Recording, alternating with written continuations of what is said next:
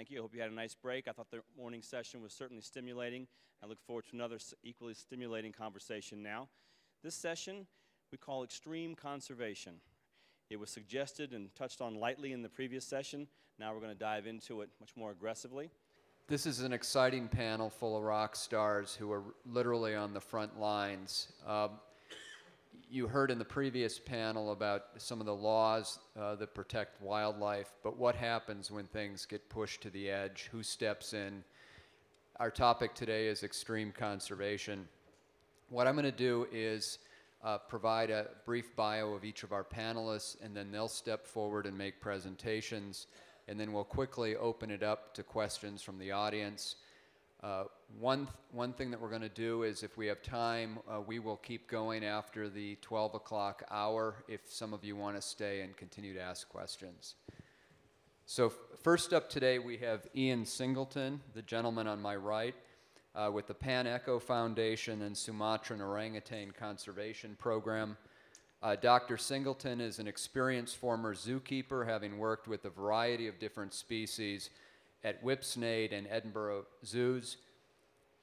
Uh, before specializing in orangutans after moving to the Jersey Zoo in 1989. He visited Indonesia several times over the years to learn more about wild orangutans until he finally left Jersey in 1996 to begin a PhD study of them ranging from behavior in the peat swamp forest of Suaq Balimbing, in the Leuser ecosystem and Gunung Leuser National Park on completion of his thesis, he joined the Swiss-based PanEco Foundation.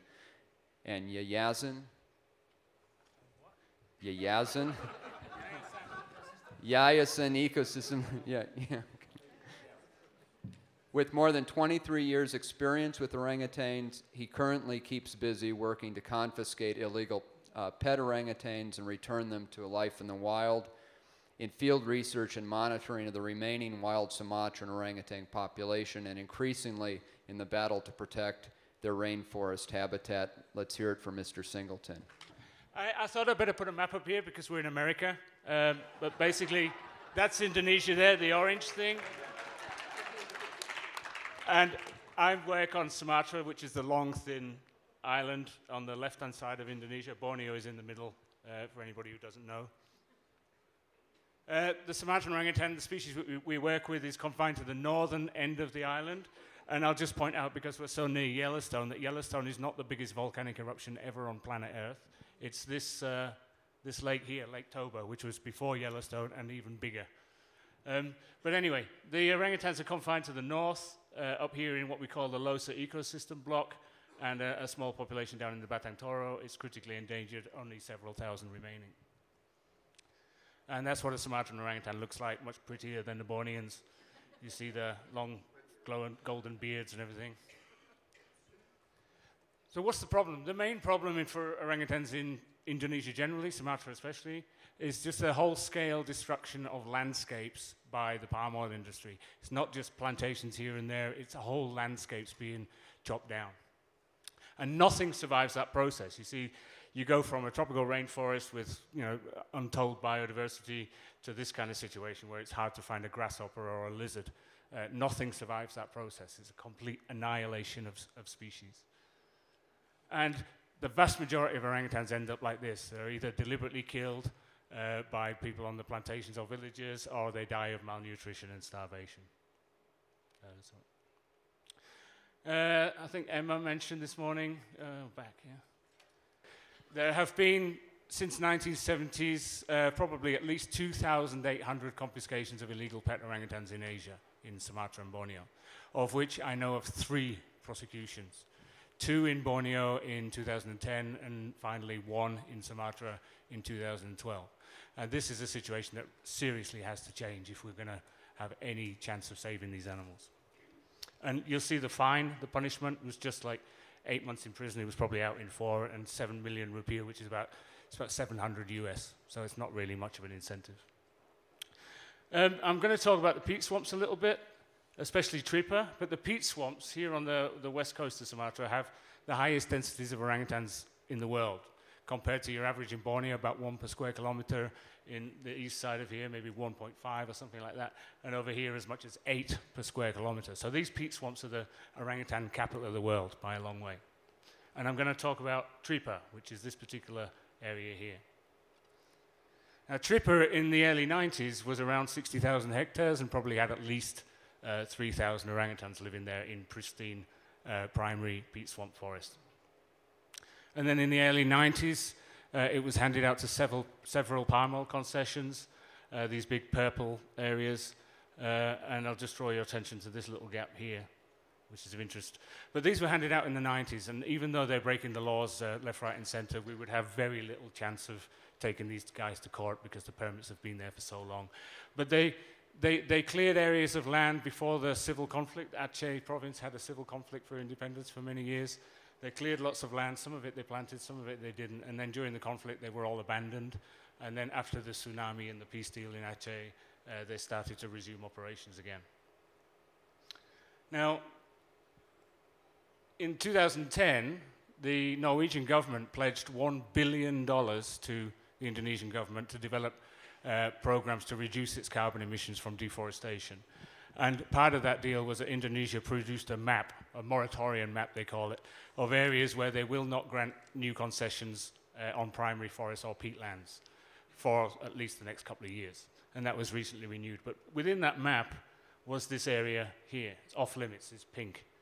And yet, in August 2011, after the map was produced, the government, the local government, uh, released this uh, new permit for a palm oil plantation. And we sat down around, around the table and sort of said, you know, what do we do? We know it's illegal. It's, uh, it's off limits on here. It's also in the Leuser ecosystem, which is a, a, national strategic area for environmental protection. And we, we sat around the table and said, shall we challenge it? We said, yes. So we, we worked with a couple of local NGOs and we worked with a local community and filed two legal uh, processes against this concession. And then we started to really look at the data, and we went back and said, well, you know, what did it used to look like, this area? And in 2006, it was still pristine peat swamp. And then in 2010, there was already some encroachment up there. And then in October 2010, the company was already spreading into there and digging this huge drainage canal and fires and everything else. 10 months before they got a permit. So they're obviously breaking the law.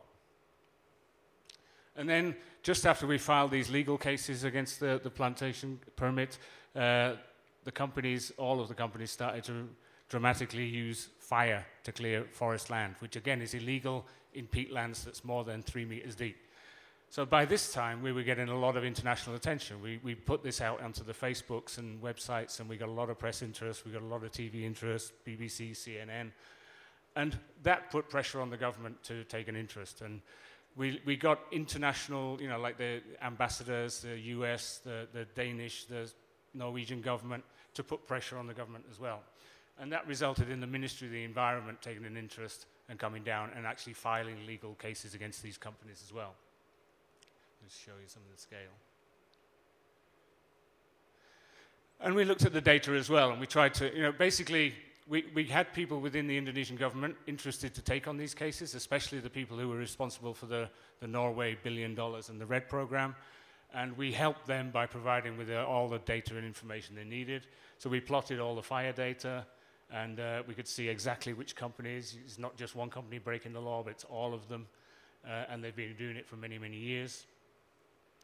And then in March, as I said, we got a lot of international media attention because there were 98 fires in just nine days in this area here. And we're able to sort of plot exactly which fires were in which company concessions and which year and everything else. So the point of this is that we, you have a lot, an access to a lot of data now. And it's a question of whether you can get access to that data, you can measure it, you can quantify it, and you can display it and distribute it around the world 15 times before breakfast. And by doing that, you know, you're able to really put the pressure on the, on the government to enforce its own reg regulations and laws. Uh, this is what the area looked like just a couple of months after the main fires. You can see this, this is the concession we challenged, and this is a burn scars from the concession next door, uh, which is also where all, most of the 98 fires were. And it's not good enough just to sort of use information, take photographs from a plane, because then they just say, well, it's Photoshop, or how do we know that's Indonesia? It could be in Peru. So you've got to really back everything up with, with you know, evidence and get people on the ground, eyewitnesses. You've got to get uh, your, but you've got to really actually go up there and say, well, that fire there is in this particular spot, and this one is that hot spot, and everything else. And we got quite good at it, and we can now, you know, access the information to say exactly what was lost. But uh, we're able to say that within a certain time period, this yellow area was cleared, and then within another time period, this pink area was cleared, and these are all the fires that were there and everything else. So we basically put together an overwhelming amount of evidence against these companies, which was then picked up by the Ministry of the Environment. We had help with NBC. We had a really good program with them that got uh, prime time uh, broadcast on uh, Rock Center with Brian Williams, which was extremely useful to the cause. And the legal cases, throughout all this, the legal cases were going on, and the pressure was continuous against the government with petitions and everything else. And we won.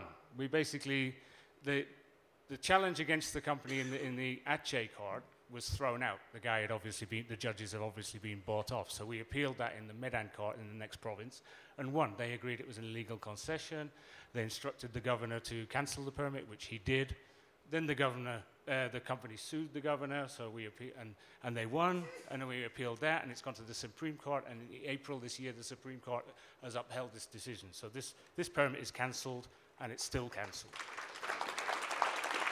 But,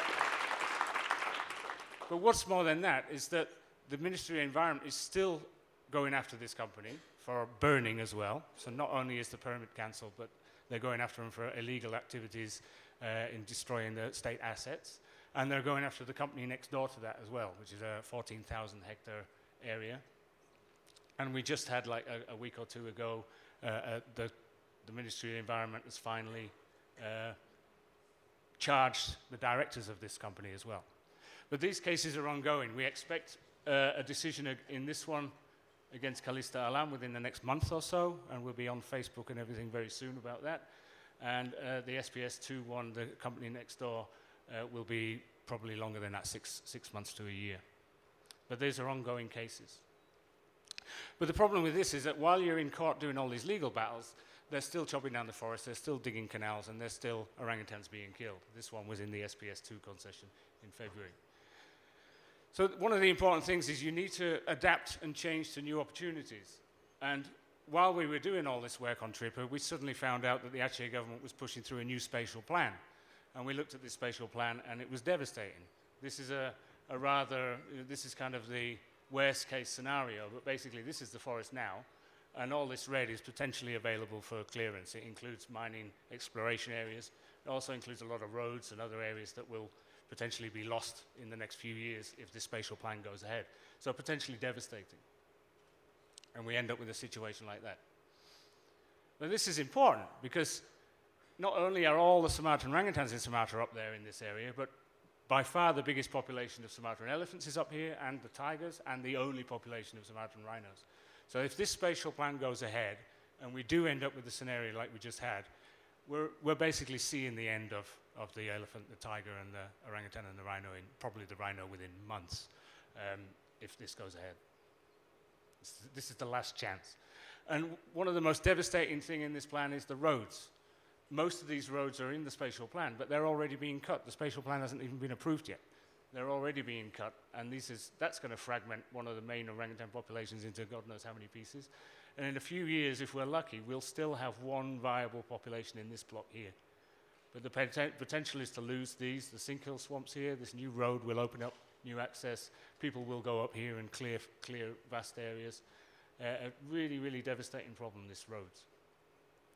And we'll also end up with yet more loss of lives uh, amongst human people, uh, humans in the area, which is already a regular occurrence. Now, most of this spatial plan actually contravenes spatial planning laws. You're not allowed to clear areas that are 40 degree slopes at certain altitudes and everything else. So most of this spatial plan is illegal, and it's being fast-tracked under the table, and it breaks Indonesia's own spatial planning laws that are supposed to prevent things like that. And people already die by, in their hundreds every year due to flash flows because of this inappropriate development, and those numbers are going to go up massively, and the economic losses to agriculture and everything else is going to go up massively as well. So we've been sort of battling this as well as at the same time with the TRIPA case, and we've used things like you know uh, webinars. We've done several press conferences. We've used petitions. This was a particularly successful one. We got like one and a half million signatories uh, within a, a, few weeks, and uh, you know the government really has sort of been hammered because every time you sign one of these, the president gets an email, the minister of forestry gets an email, the ambassador for Norway gets an email, and they get fed up of it and they start picking up the phone and they call in the Indonesian government saying, What are you doing about this? So these things, I, I have no idea if petitions like this will still be useful in five years' time, but right now they've been extremely effective. And I'm getting close to the end, but then we had the fires in Riau and Jambi that caused a lot of haze in Singapore recently. Big thing. And most of these companies are actually registered in Singapore. You know, the fires are in Indonesia, but it's Singaporean companies creating haze for Singaporean people. And the Singaporeans came up and said, we'll go after these companies, you know, with a vengeance, and the Indonesian NGOs and the government promised to go after these companies with a vengeance, and Greenpeace has mapped them all out and told them where the fires are. A lot of it learnt from the TRIPA case. And uh, but this is a real test. If, if they can't succeed in TRIPA, prosecuting these companies for their, you know, one, illegal permits, two, illegal burning of deep peatlands and everything else, um, then what hope is there for them actually enforcing the laws in Riau and preventing all this haze that uh, devastates Singapore and Malaysia every year? And all we're doing is asking Indonesia to uphold its own laws. It's not just wildlife laws. I, you know, when you think about law enforcement for conservation, not just wildlife laws, but laws that govern permits, laws that govern how companies operate in the field, how they clear forests, laws that govern spatial planning and everything else. It's that whole package. Just enforcing a few wildlife laws here and there is not enough. We really need to do it. But I'm wondering why it's called extreme conservation. Now I know, because Martha wrote a paper about it. But uh, just upholding, uh, trying to get a country to enforce its own existing laws should not really be considered an extreme, should it? So are we going to see better governance in Indonesia's forests? Only with sustained public pressure, I think. And uh, Facebook, I've learnt a lot about Facebook and Twitter and everything else, and it's an extremely useful tool if you want to get behind it. And it suddenly crossed to me that in Sumatra, we're, we're right now, I think decisions that are made in the next few weeks uh, probably determine whether we still have Sumatran orangutans, elephants, rhinos, and tigers in 10 years. Right now. So are we going through the age of where we see the great ape extinctions. I have no idea, maybe in Africa. But I think with the, the threat of palm oil in Africa, then we may well be heading into that kind of scenario. It's getting to crunch time, I think. So anyway, thank you very much. And anybody who wants to support us, go to Facebook and Twitter and get on there and, and help spread petitions and everything else.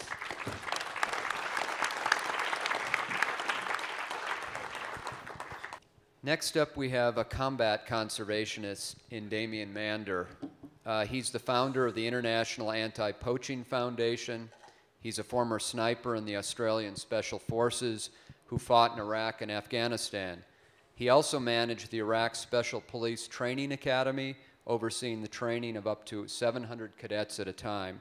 Frustrated by the inability of law enforcement and national governments to effectively counter rhino poachers during a trip to Zimbabwe, he founded the International Anti-Poaching Foundation, IAPF, and applied military training and techniques to wildlife units in hopes of protecting endangered species around the world.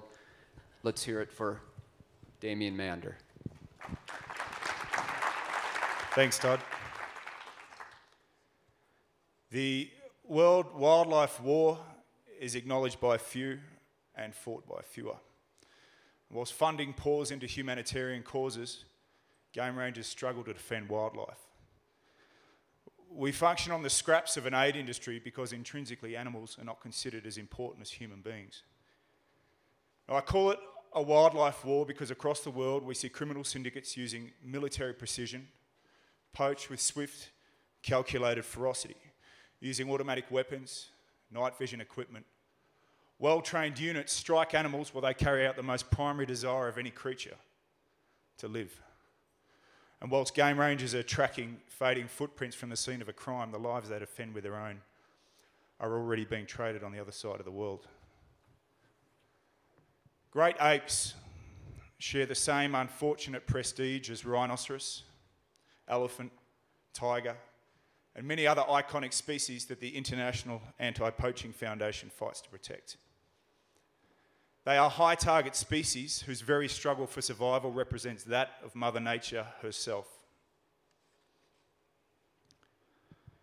On only a handful of occasions in the past 500 million years, half of all species on Earth have gone extinct. This is what we term a mass extinction. A recent study, The Ethics of Species, published by Cambridge University Press, projects that by 2100, half of all species we have on Earth today will be gone forever. Now, for the first time in history, this mass extinction is a man made phenomenon. So, I'm going to speak about Africa now because that's my home. The United Nations Population Division projects that the number of human inhabitants on the African continent will double to 2 billion by 2040. Now, unfortunately, I've got little confidence that we can mobilise the hearts and minds of a continent with a common mindset of immediacy that the long term preservation of wildlife is more important than food on the table tonight. You couple that with a common lack of sufficient political will to protect these animals, and we have a recipe here for extreme challenge. Whilst it may take generations or major catastrophe to wake up humanity to this environmental cause, in the meantime, to save high target species, I believe we must adopt a military approach. Are we ready, financially, logistically, politically, and morally, to adopt this mode of thinking? Can we afford to ignore the important contributions that military tactics and technologies can bring to conservation when those same principles are being used by criminal syndicates to destroy high target species? Whether we like it or not, military tactics and technologies are the reality of a successful conservation formula at the front lines of the world wildlife war. Anti poaching isn't pretty. Rangers do carry guns. Sometimes they're shot, sometimes they shoot. Our camouflage approach to protecting animals may be discomforting for some, particularly when environmentalists, animal rights, humanitarians, military types, conservationists, they all sit at different seats on the ideological spectrum. Despite this, we can and must find common ground on this devastating global issue. So, one of our brave warrior game rangers, his name is John Matenga. And John has conservation beating through his veins. He's been trained and equipped like a soldier. The rhino population that John and his team protect has suffered no loss in five long years. Now, outside of his reserve in Victoria Falls, the nearest population of rhinoceros to John's camp has been decimated from 76 down to 7 in seven years. So as demonstrated time and time again on the front lines of the world wildlife war, where human intervention can positively change the fate of nature, we must be light handed no longer. Rangers of the world should be trained, equipped, and supported to the levels required in the same custom as our police and military agencies. Alongside our donors, officials, and thinkers, we need conservationists that can fight like soldiers and soldiers with the passion of conservationists. To declare war in defence of these dying global treasures may seem sweeping and heavy handed, but in dire circumstances, it's often only with heavy hands that we have a canvas for the future. This isn't a call for mercenary action or the uprising of a militia, and I'm not expecting tanks and Apaches to roll over the horizon and hand them out like Christmas presents. This is a global call to implement the necessary structured training, technology, intelligence, command, and control for anti poaching, the last lines of defence for wildlife. Protecting high target species must be the benchmark of wildlife defence. When we can protect these animals, the hardest to protect, we know that everything else in that ecosystem is safe from poachers. At a deeper level, such as the culture of war and security has taken over our generation, subsuming the notion of peace as a concept. We must find a way to penetrate the minds of this and future generations with the environmental narrative. Now, this responsibility of a shift towards protecting Mother Nature is ours as a whole. And whilst we can't shift the mindset of a generation overnight, we can save high target species today. But to do that, force is a vital prescription. Before I close, I'm going to leave you with some words of Winston Churchill, who summarizes the essence of common enemy we face and the resolve required to save high target species. You ask, What is our policy? And I will say, It is to wage war by sea, land, and air with all our might, with all the strength that God can give us. To wage war against a monstrous tyranny never surpassed in the dark, lamentable catalogue of human crime. That is our policy. You ask, What is our aim? And I can answer with one word victory. Victory at all costs, victory in spite of all terror, victory however long and hard the road may be. For without victory, there is no survival. Let that be realized. We need the help of the world to defend the defenseless. And where those people of the world cannot help us protect animals, and I mean any animals, then I lay down the challenge now to not be responsible for their suffering. Thank you.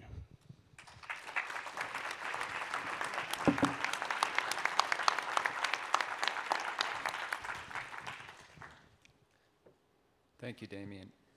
So from Sumatra to Zimbabwe, we're going to head northward in Africa, and I'd like to next introduce Leon Lamprecht, who's with African Parks.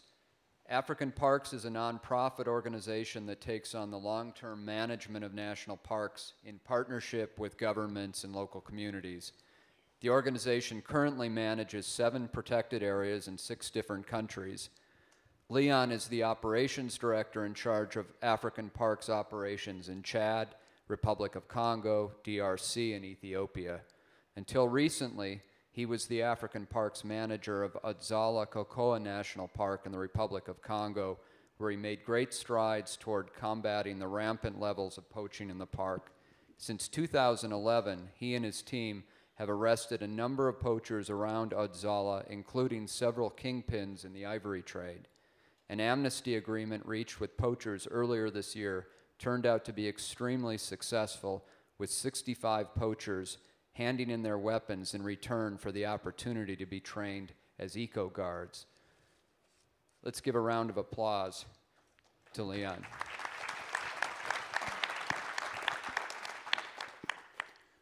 Thanks, Todd. This is about extreme conservation. Um, African Parks, like we just said, is a non-profit organization, and we take the direct responsibility of the re rehabilitation of these national parks on long-term management in partnership with local governments. Um, if I look quickly at what we mean with, with management, first of all, we have to secure the park. If, if we do not have a park secured, um, there's no ways we'll be able to, to achieve what we would like to achieve. Infrastructure obviously comes with that, uh, translocation, monitoring where that's necessary.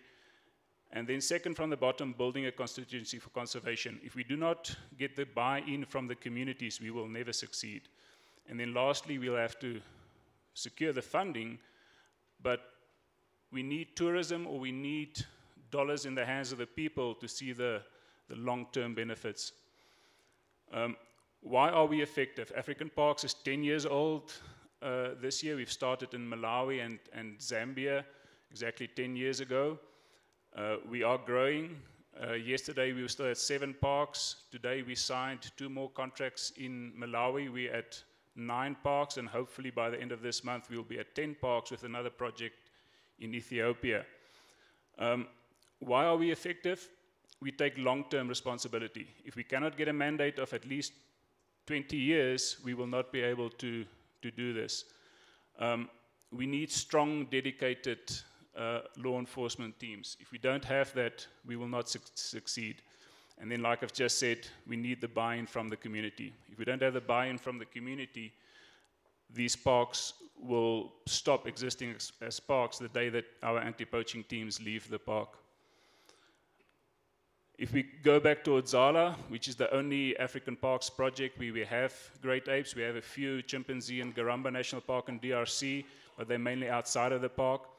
If we look at the great apes in Odzala, um, 2010 November, we signed the partnership agreement with the government, um, and it was the first public-private partnership in Central Africa threats and challenges that the great apes face, face in, in Odzala.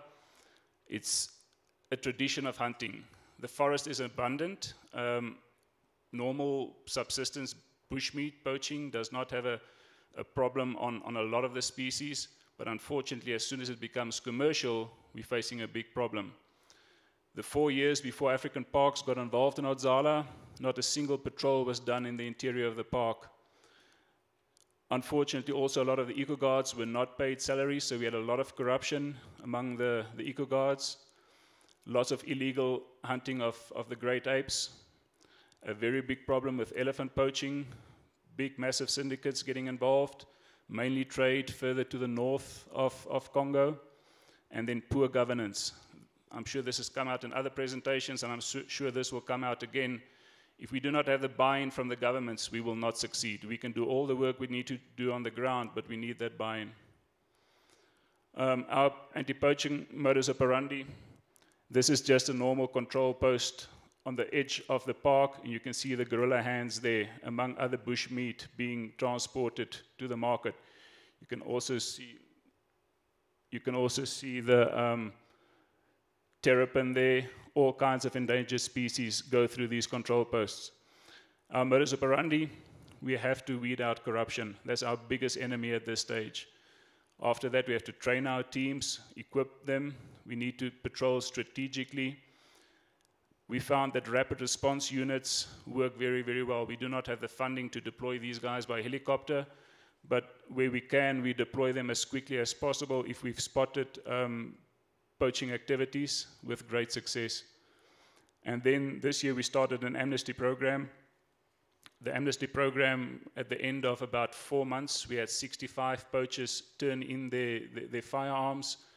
Seven of the statements that we got from these poachers resulted in the arrest and the conviction of a very, very big kingpin in the southern part of the park, mainly in, in elephant poaching. It also a teacher that worked in the north mainly with pygmy children, could not support his family on the salary that he was getting. He turned to be a poacher. And when he had this op opportunity through the amnesty program, he stopped poaching and now has a, a legal job. But in the process, managed to turn seven of the pygmy hunters that was working in his area to also join our ranks. And then lastly, we have to influence the judicial system. Um, in the uh, meeting yesterday, I'm sure the, some of the organizations like LAGA and PALF was addressed. Without the assistance of these guys in the legal system, we will not be able to, to survive either. What still needs to be done? We need the, the buy-in from the community. And in our park, we need community-based tourism. It is in the tourism development plan. It's the next thing that we'll have to roll out with the government. And we have to find alternative livelihoods if the community do not buy in and they need the money to survive, there's no ways they're going to look after an animal that they could eat. Um, together with the ministry, we have to look at diminishing the, the bushmeat trade. And on our own case, we have to increase intelligence. Um, it's a lot easier to stop an uh, incident once it's happened. It's more difficult to stop it before the time, but we have to stop it before it happens. In conclusion, I don't want to step on any toes. I know there's a lot of technology being discussed here, but in our case, right now, we need boots on the ground, and that's what's, what's making us successful.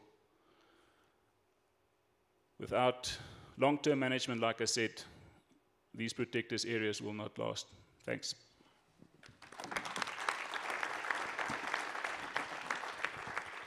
Thank you, Leon. Well done. Now we're moving to Uganda uh, the territory of Martha Robbins. Martha is a scientist at the Max Planck Institute for Evolutionary Anthropology in Leipzig, Germany. She's been studying gorillas for over 20 years, focusing on topics such as social behavior, feeding ecology, and population dynamics. Martha's long-standing research project in Bwindi Impenetrable National Park, Uganda, has been running for 15 years and has produced collaborations with projects in various countries, including Rwanda and Gabon. Thank you, Martha. Let's hear it for her. Is this on? Okay, hi, hi. Yeah, I'm in, I'm in the extreme dude session. This is, this is interesting. Anyway, thank you, thank you very much. Um, so I'll be talking about the um, mountain gorillas of the Virunga volcanoes, essentially as a case study for extreme conservation.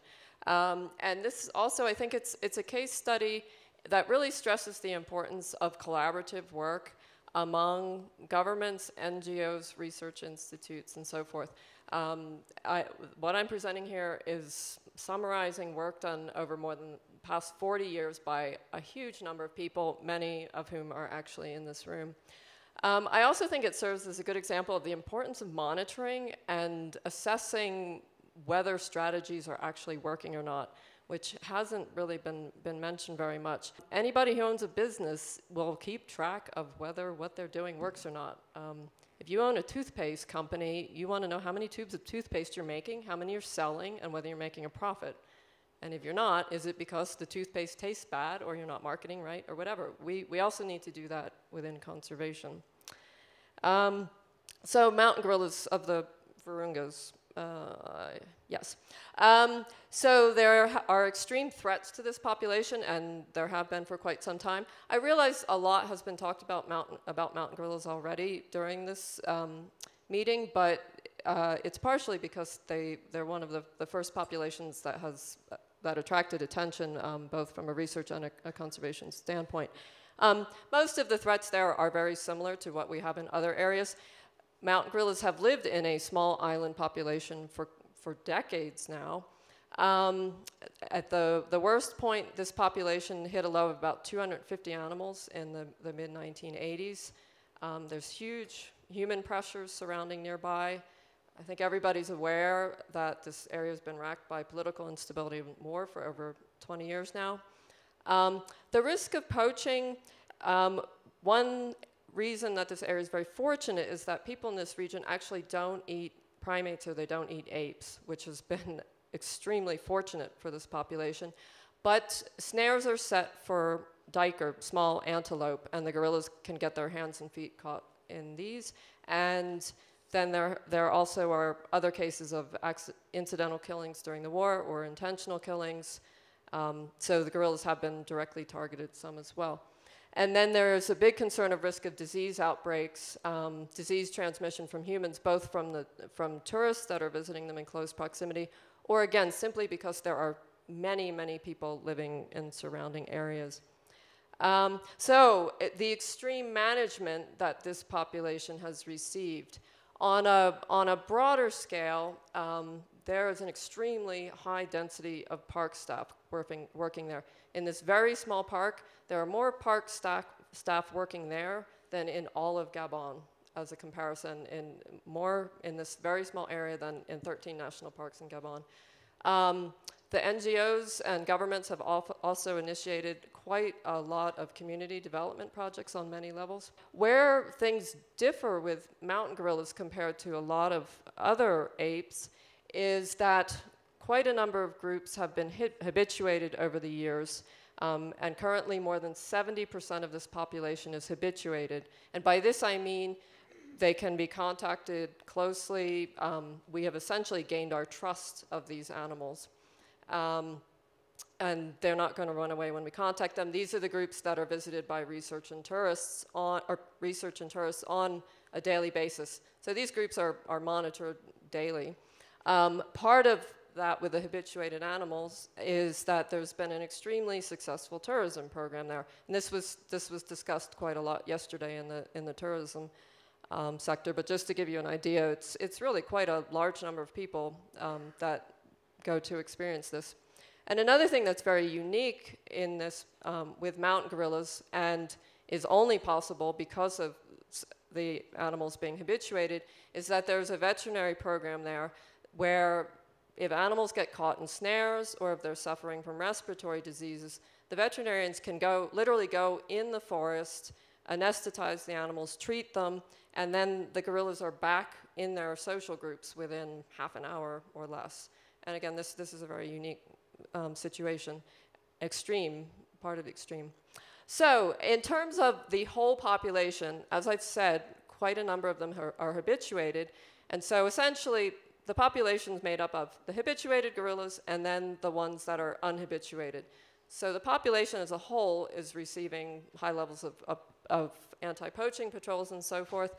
But again, these habituated animals are getting additional protection because they're monitored daily.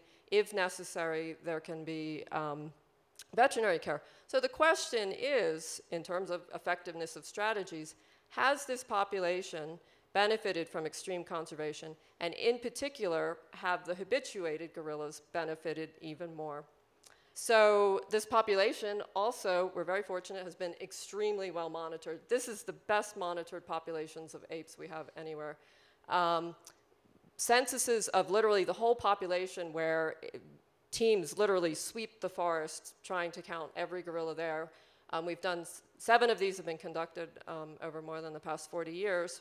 And then with the habituated animals, we, we've been able to get daily observations on individually identified animals. So we have very detailed database of births and deaths of, of all the gorillas that have passed through um, the habituated groups.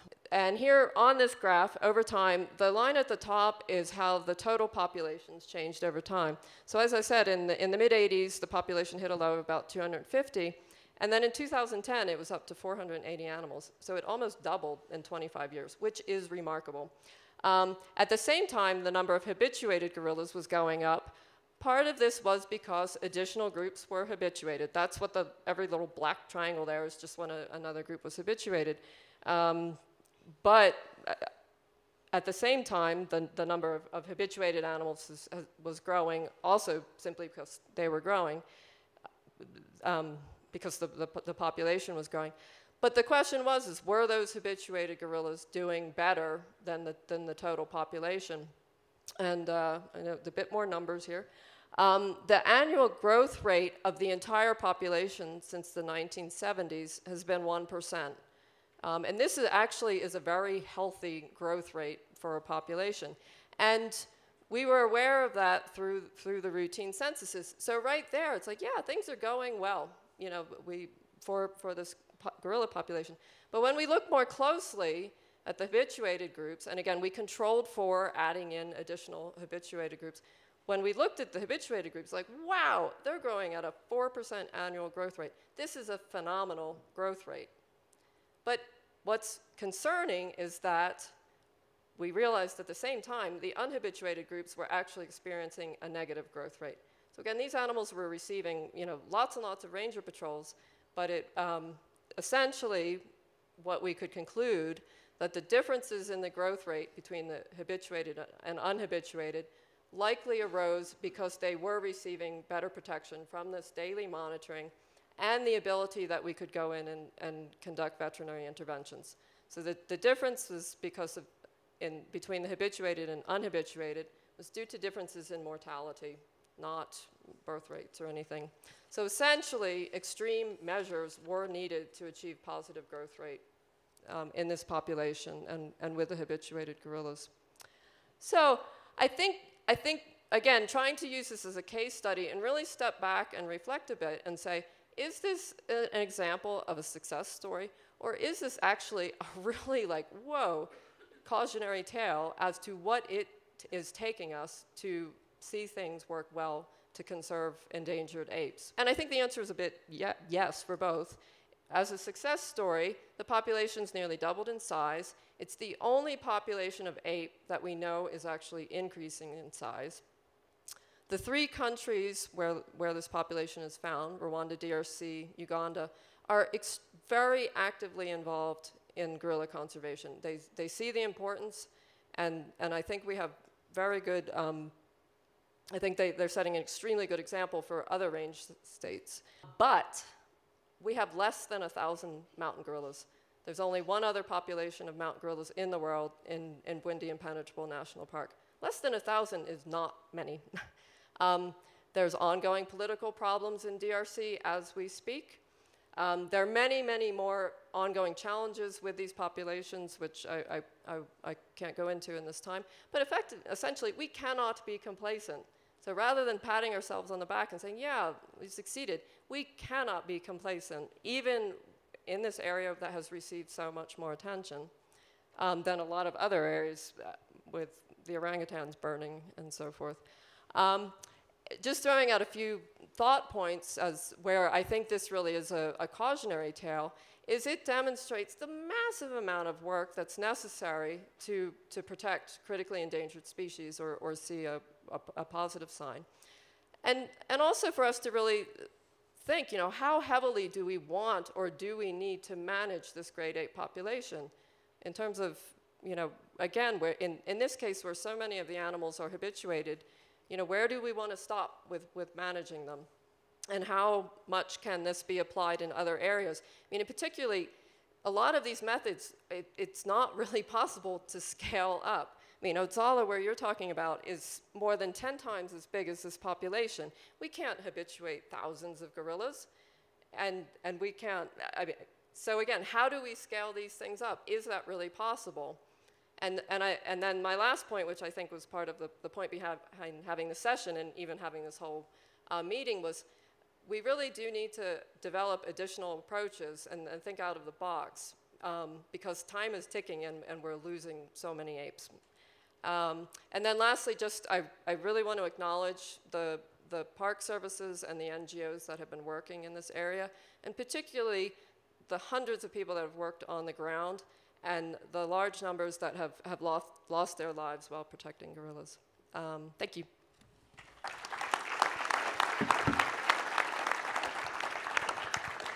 Thank you, Martha.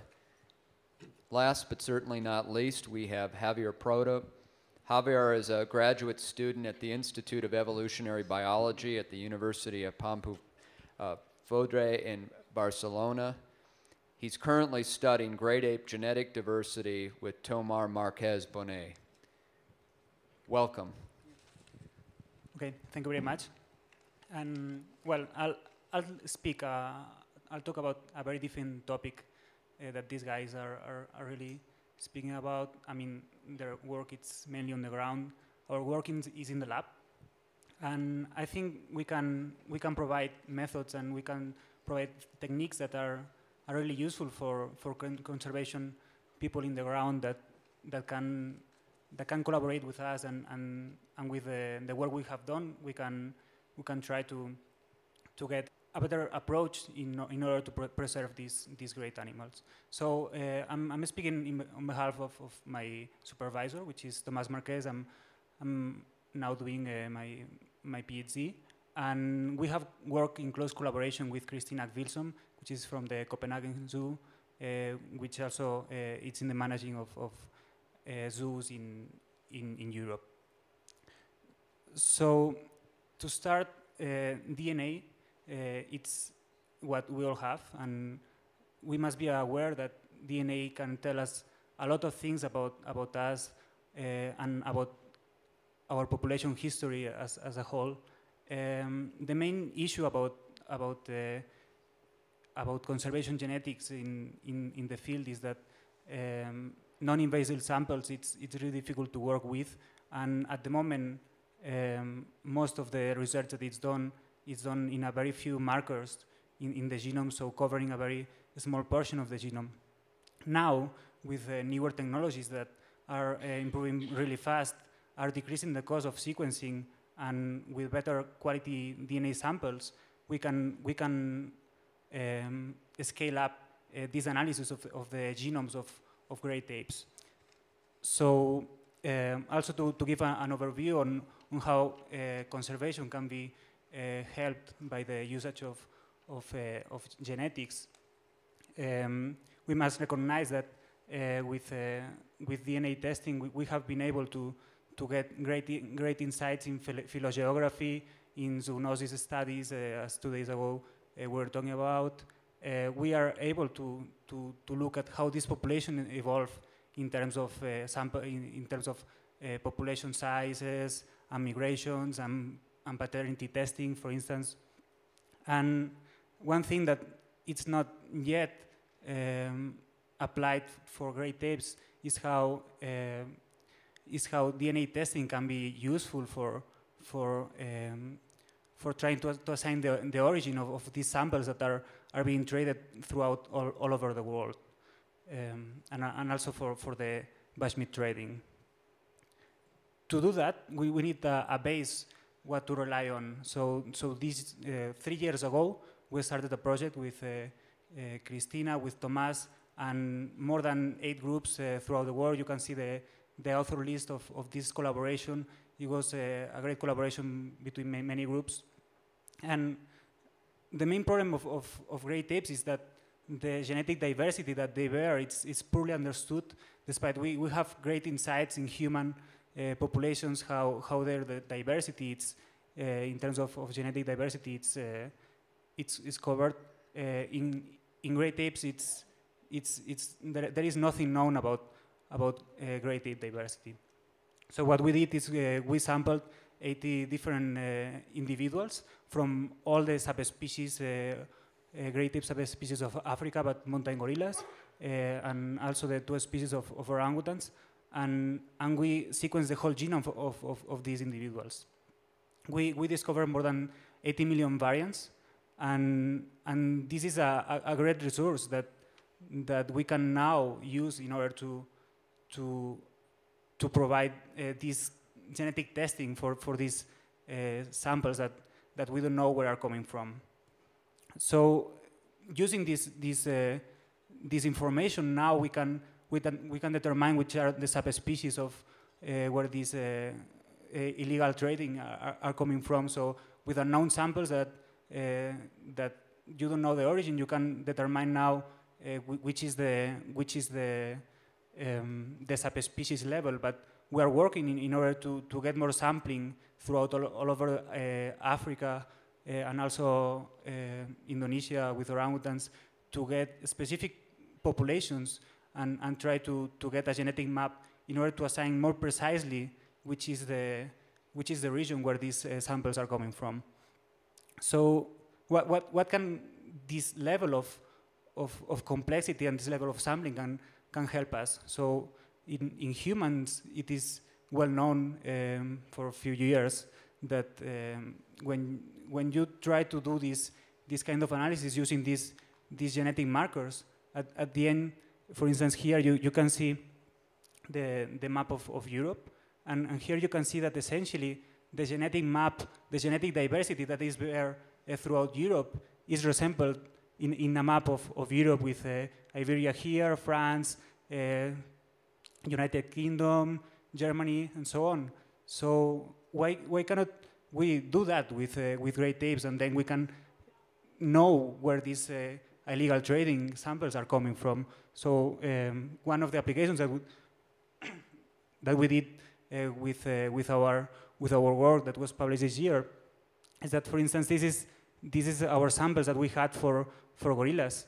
And here you have the different uh, origins that they have uh, one problem that we have is most of the times we don't know where these samples are coming from, so we, we have to study them to, in order to characterize this variation, but, uh, but still we, we, we need to, to have better sampling with georeference in order to, to do a more improved uh, analysis. But for instance, here you, you can see that the Cameroon samples are coming here with uh, Equatorial Guinea, and then the, the Congo samples are coming here.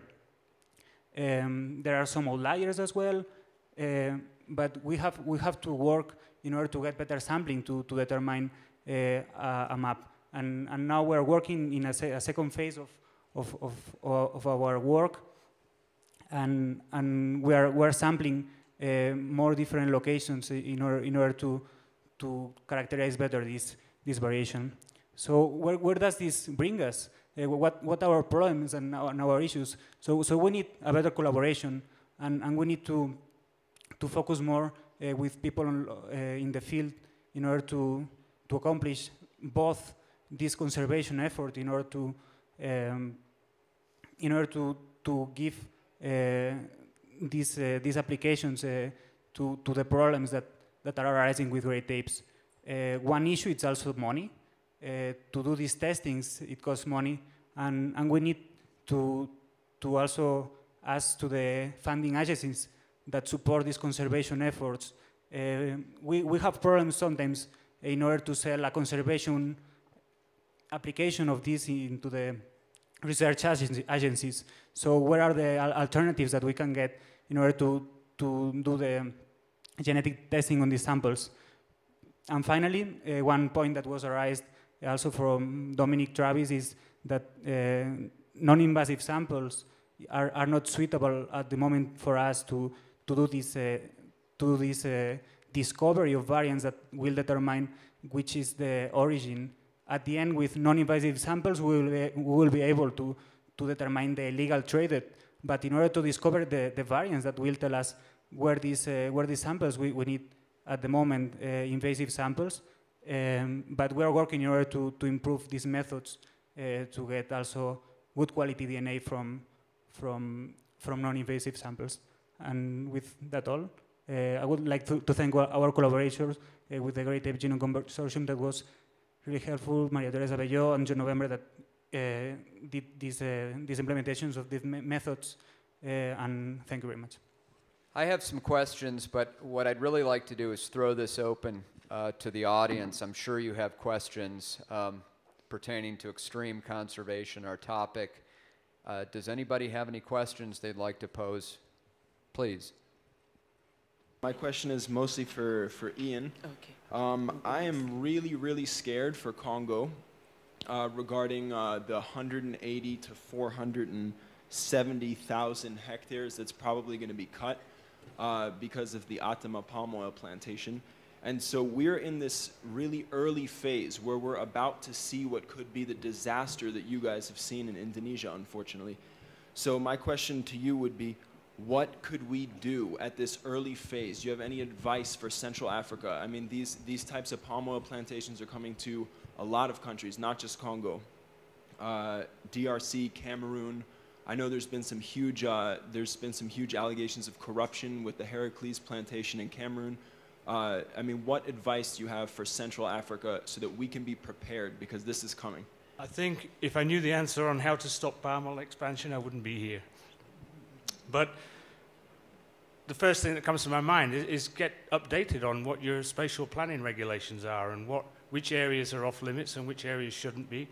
Basically, you, the country, each country has its own spatial planning sort of criteria. Yeah? Uh, in, in, in Indonesia, you call them like bibit or something. So you say like everything that's over 40 degrees slope, 40, yeah, 40% slope is supposedly off limits. Everything is, which is Bukit Pandan uh, soil type, is off limits and, and map it. And so that when the governments do start handing out these concessions, you can go up to them and say, look, guys, that's breaking the law. It's off limits. I think that's the only defense, but I would, add, I would recommend that all the African countries, the NGOs working, actually start to try and do that.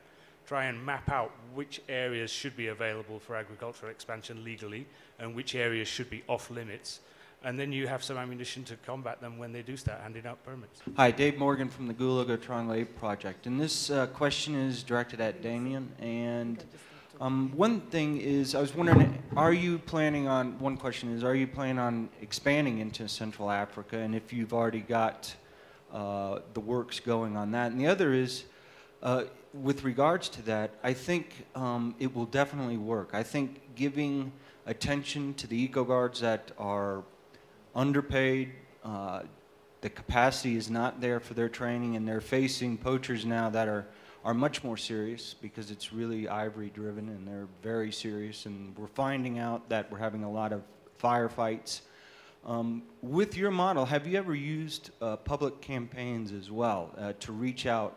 Because I think in Central Africa, what we found is if you start using these type of tactics or you use new technology, uh, people in those regions who aren't aware of it, they start talking, and it can really help out. I mean, people will become scared, and I think uh, using the media or different NGOs, that could have a big impact, at least uh, stopping some of the local people, uh, the traditional gatherers and stuff, from going into areas where they shouldn't be hunting uh, just by the fact that they think and they know that these eco guards are being trained by people who are uh, well equipped to, to do their job, which in many places isn't the case at this time.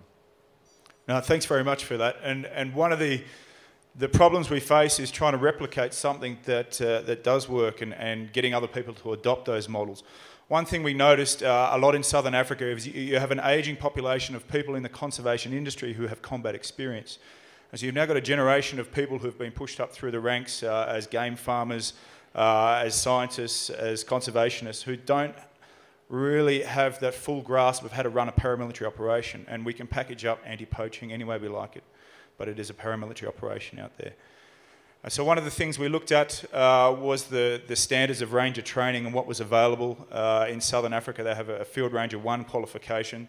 So a ranger can come in for six weeks at the age of 17 and do this qualification and still be doing the same job at the age of 57. There's no career path for him. There's nothing to steer him up towards a management position, getting all the necessary training along the way throughout his career in how to eventually manage or train an anti-poaching operation. And so we, uh, we started, we brought the model into South Africa and we tried to lay it over the current unit standards in the South African Qualification Authority and realised that there was no qualification there that, that supported what we felt and what some key players in the industry felt was required for rangers to go out there on the front lines, and not only them for defend, to defend wildlife, but for their managers to be able to manage those rangers out there. And so we, we, we went about, we're currently in the process of developing a new qualification in South Africa, which will be uh, eventually recognised throughout the Southern African Development Community of anti-poaching ranger. And it's a six-tiered qualification. And uh, it focuses uh, right in the very beginning from low literacy learning, going right through uh, anti-poaching ranger level one, level two, team leader, uh, intelligence and risk assessment, and then branching off either to be in management or instructor. And uh, we received uh, remarkable feedback from an international community when we sent out the expression of interest. Uh, the, the carrot was that if those people from the international community come in and discuss what they think the frameworks should be, and we'll have a selection of frameworks that will suit different regions, uh, and they have a positive contribution to the development of the curriculum, then at the end of it, provided they agree to meet minimum standards within the, within the industry and maintain the security of those documents, they'll have co-ownership of the qualification and curriculum at the end of it. So we're currently sitting with 58 industry leaders from 23 countries, uh, including uh, government departments from eight countries who have agreed to take part in that process. Uh, we're just jumping through the hoops at the moment because the first step has to be the qualification development, which is being done in South Africa to fill an immediate gap in the industry. We've got managers. Now, South Africa, again, I'll use it as an example. There's 10,000 game reserves, private game reserves in South Africa. Each of them has a manager. Each of them has, to, to a certain degree, uh, a responsibility of managing a small or medium-sized paramilitary operation. A lot of these guys do not have the background in, in, how to run those, those operations. They don't have the, the skill sets, and it's through no fault of their own. They've, they've, they've taken on the job and the huge responsibility of looking after these animals. And we, we started working with a group of guys down in Cape Town. It's an interesting story, actually. A group of young guys who developed a, an online training college for the hospitality industry uh, a few years ago. Now, that online college currently services half a million learners a day.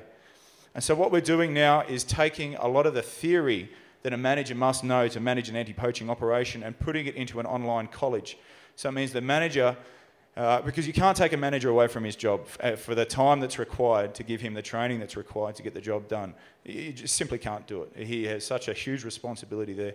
So this online college is going to allow managers to learn all the theory that's required of running a, a paramilitary operation in their own workplace, at their own time. They'll have access to a facilitator, either by phone or online, and a community of people uh, online who have already passed courses that they're trying to pass. And so what it means is when managers do get a chance to get away from their workplace and go to a training facility, they'll all be on the same level and ready to start training at the same time, as opposed to what you do see so often in a classroom environment is people coming in who are uh, with skill levels down here, some up here, and the rest in the middle. And half the course is spent trying to bring everyone up to a level where we can move forward.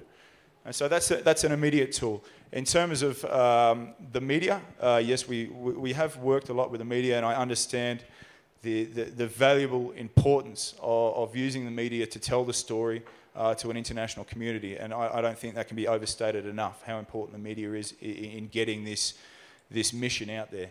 Uh, not my mission, everyone's mission. Everyone in this room's mission, everyone in this industry's mission, because we really need to penetrate those minds that this is something worthwhile fighting for. Crowdsourcing, I'd love to do it. If anyone can help me, please. Is that, is that, okay, thank you. Anybody else? Please. Thanks. This is really a great session because I think you're dealing with the, the real core frontline challenges that we have to come to grips with if we're going to be successful. And if we don't engage, at the level that you're engaging at, I think everything else we're doing is going to be for naught.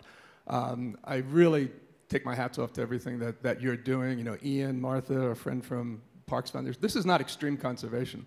This is plain and simple what we need to do to get the job done. Damien, you're taking it to another level, looking at these kind of paramilitary operations. But for instance, with rhino poaching in South Africa, I don't see any other way to deal with it. If we don't engage the way that you're suggesting, I think we're going to fail in, in some of these really extreme cases. But I have a, some question, uh, question for uh, Ian in particular. And uh, you're aware of the great carbon storage value of the, uh, the peat swamp forests.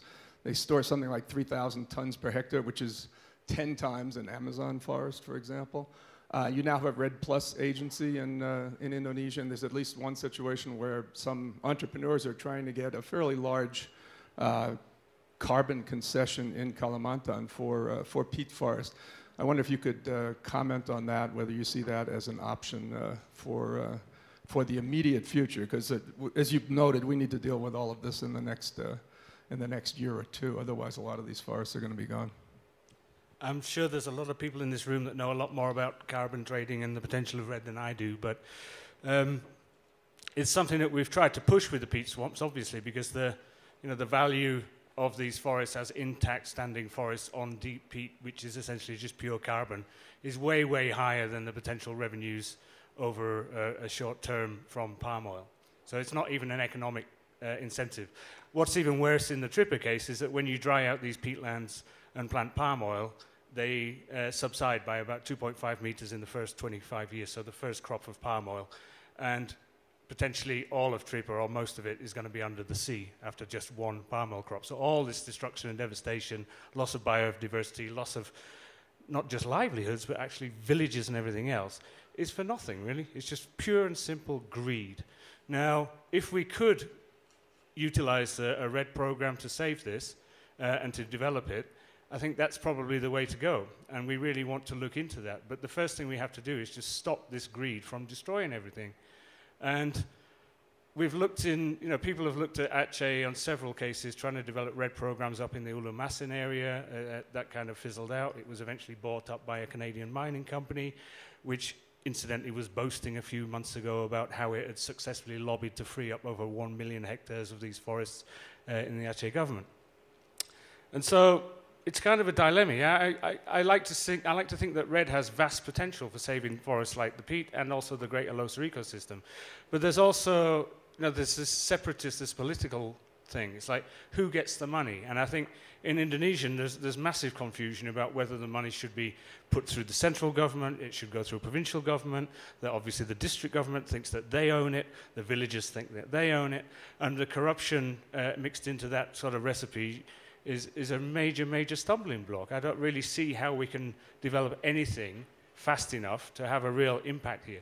Whereas, if we can succeed in enforcing the law and getting some of these companies removed from Tripa, there is vast potential for uh, restoration of, of for developing a long-term carbon program to save and restore Tripa, and for regenerating the forests and for reintroducing some of the species that may have already gone. So we, would love to see it, but we're not there yet. The first thing we have to do is stop the destruction. I think. I think I'll start off with mm, this question to Martha. It's interesting what we've been hearing in the Virungas that habituated groups are growing faster than unhabituated groups.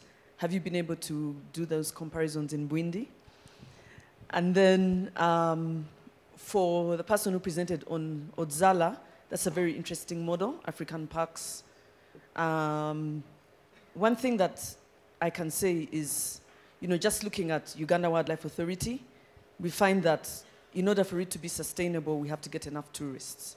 It's probably the same, you know, all over Africa, Kenya, Tanzania. And I think the biggest challenge with Odzala, because it's so difficult to get to, is getting the tourists in.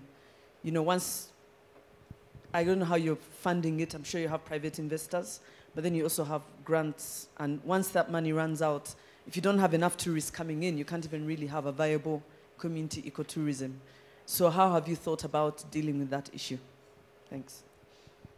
Okay, uh, thanks, Gladys. I'm not surprised you asked me. Um, so, for those of you who don't know, Bwindi Impenetrable National Park in Uganda is the other population of mountain gorillas. Um, I would like to apply this same approach of, of examining this with Bwindi.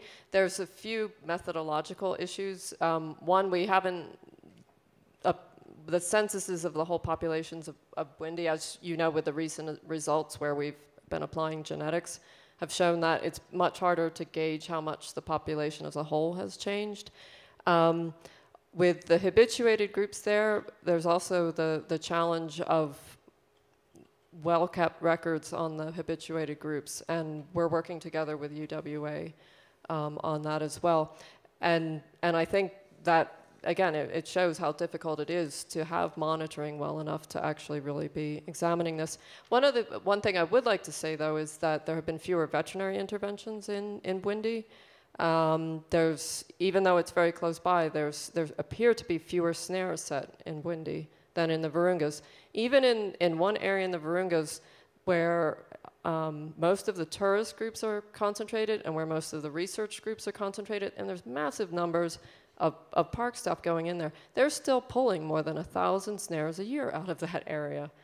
So these poachers are, are very desperate to be setting snares for antelope. So even in areas with very intensive efforts, this is happening. Um, so I think one challenge for people working there is, yes, there are veterinarians that can go in and remove snares from the habituated gorillas, but how do we get people to stop set, setting these snares in the first place?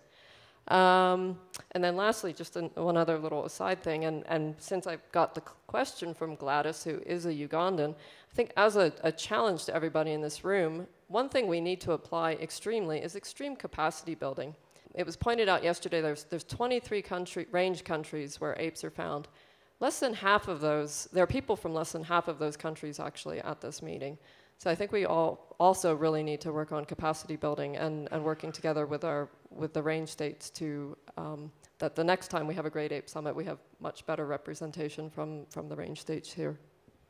Uh, regarding the tourism question, um, I think is probably the most important part in Odzala. African Parks categorizes the parks that we manage in three categories. Category one those that within our mandate will be self-sustainable. We're fortunate that in Rwanda and in Malawi we have that. Uh, category two, at this stage in Zambia, we have parks at about 50% of, of the operational costs are covered by income, mainly tourism. And then in Chad, in DRC, and in Odzala, it is the, the challenge that you mentioned. Um, but in Odzala, tourism is starting to, to pick up. Um, we've got two lodges, one lodge uh, mainly concentrating on the habituated gorillas um, close to the park uh, headquarters, and then another lodge in the south of the park. Like I said, for the four years before African Parks' involvement, there were no patrols in the interior of the park. There was one ranger post in the south of the park, and that's where a lodge has been created. We already, for seven months this year, at um, over 300 guests. These guests stay for a minimum of six days and they pay $1,000 per day. So um, it's already picking up in a country where, which is not known as a tourism destination, which got the bad name of Congo. We, um, we've got our neighbors Congo next door with a lot of, of unrest, and people do not want to come to the Republic of Congo. So we have to put it on the, on the map but we also have to create a product, um, and that's what this conservation is about. Um, if we're not looking after these gorillas, there's no reason for those tourists to come there.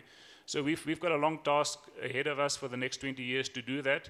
Um, I do not think we will ever become a, a Category 1 park where we can cover our operational budget, but we aim in the next 10 years to be at least at 50%, and the indication at this stage is that we will be able to do that. For Javier, uh, the work you're doing on genetics, it seems to me, is critical because in all the panels I've heard, at some point genetics comes up.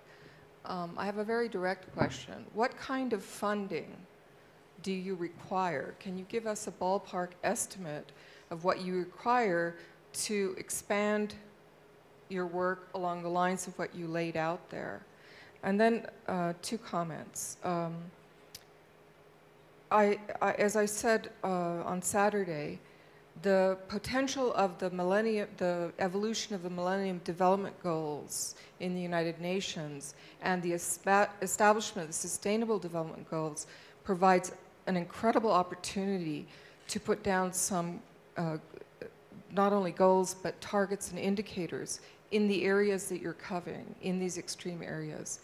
And doing so will bring donor financing, uh, at least in the next decade.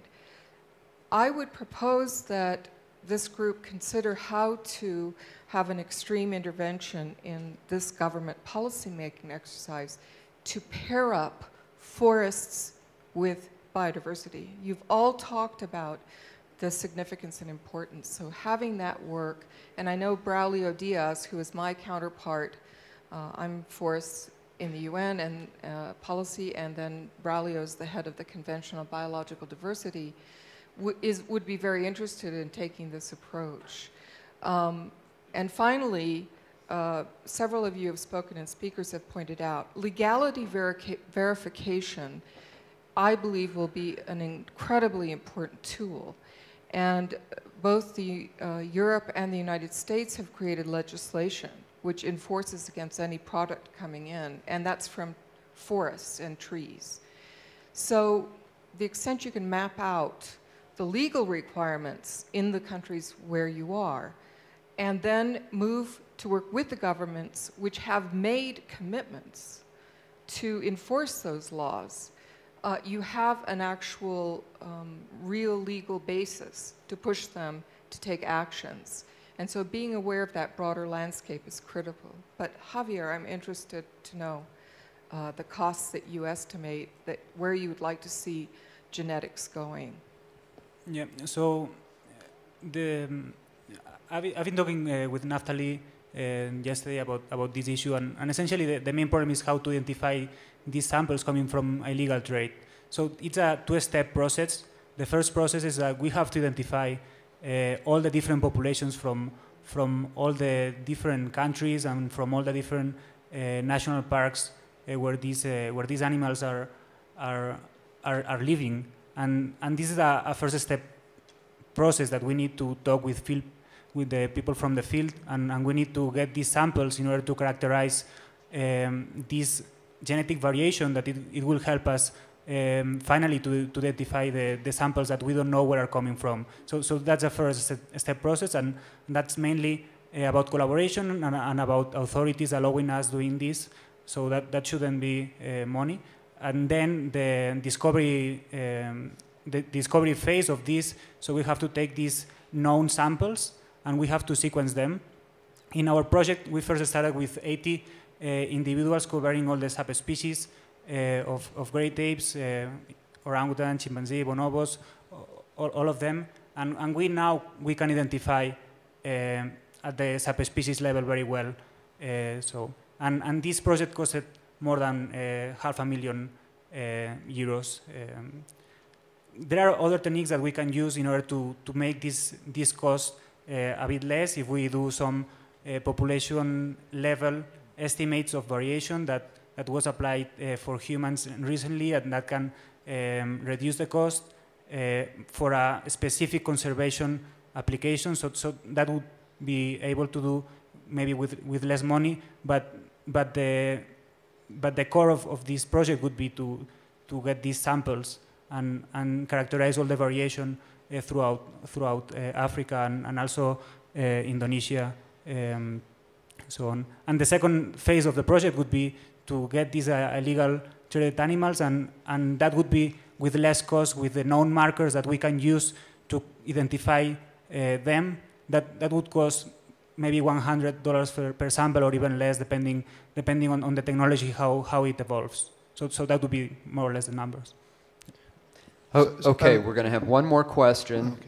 and then I'm going to ask each of our panelists in 30 seconds if you could change one thing what would you do? So Please. Thank you so much. I, I to um, um, the head of the UN Forum on Forests because she was behind the camera and you wouldn't be able to see that she was waving. Um, but it's partly to, to, to do with Jan's work that I wanted to just make a comment rather than a question.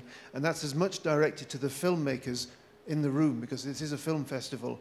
And that is to contextualize. This has been one of the most dynamic and, and dramatic and, and shocking of the sessions that we've had.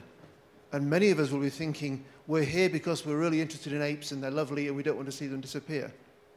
Um, since 2007, a lot of my work with GRASP was focused on the, the climate convention. And the reason for that is that apes are keystone species in these forests. Now, in the climate convention since 2007 and the Bali Roadmap, forests have been recognized as central. We will not stop dangerous climate change if we don't stop deforestation. And I just wanted to tell you uh, uh, uh, an exchange I had with a, a, carbon scientist when I stood up and said about the importance in, in a meeting in, in one of the UN climate side events. I, I, spoke about the importance of, of apes and elephants to the health of the forest, and, and they still didn't get it. Most of the population still think apes are nice because when you put clothes on them, they're funny. They look a bit like us. We have got to bring the wider population up to understand that protecting apes and elephants isn't just because they're cute or they're intelligent or they share some DNA with us, but because of the role they play in those ecosystems. And the, the point I made to this climate scientist who was saying, this carbon scientist whose job was to measure the carbon in forests, when I spoke about animals, she's thinking there's not much carbon in an animal. They're not that important to my job, even though I personally like them. And I said, look, if you weigh a car, you've got so much steel. If you take the cogs out of the car, you've got very little less steel, but it doesn't work. So animals are not optional extras for forests, they're components of the forest. And that doesn't get through to people.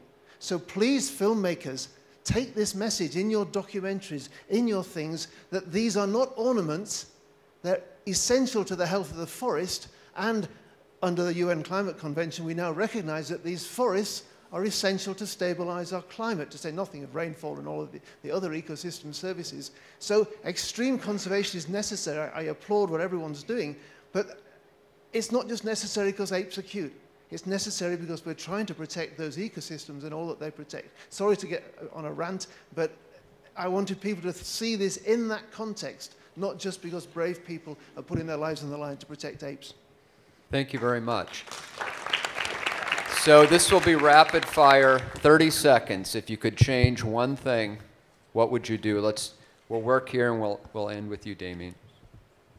Um, corruption, I think, without a shadow of a doubt. If we can get rid of the corruption, we increase transparency, we enable laws and legal systems to function, and if the laws and the legal systems function, 80 to 90% of our work is already done going to be greedy in two. Ensure uh, enough viable habitat, enough intact habitat for viable population of, of apes. And secondly, deal with bushmeat.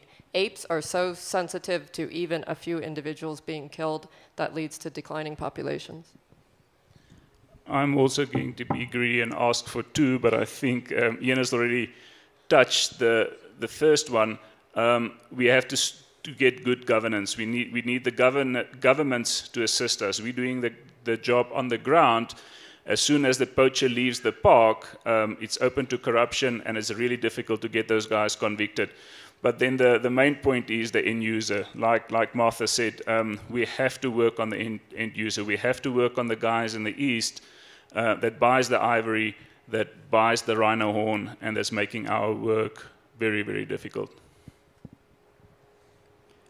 One thing I, I, would really change is this meeting. So I, I wouldn't like to have this meeting held uh, every year. I mean, it's it's incredible that that we need to care for for for great apes because they are in danger. So we we should not have this meeting because they are in danger, but, but because they are great and because they are our closest relatives and, and because they can make us learn too many things about about us.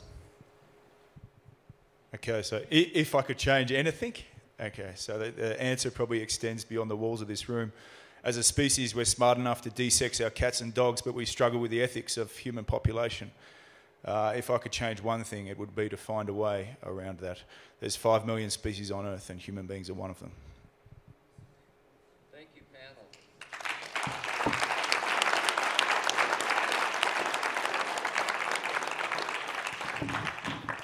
Thanks for coming today, everyone.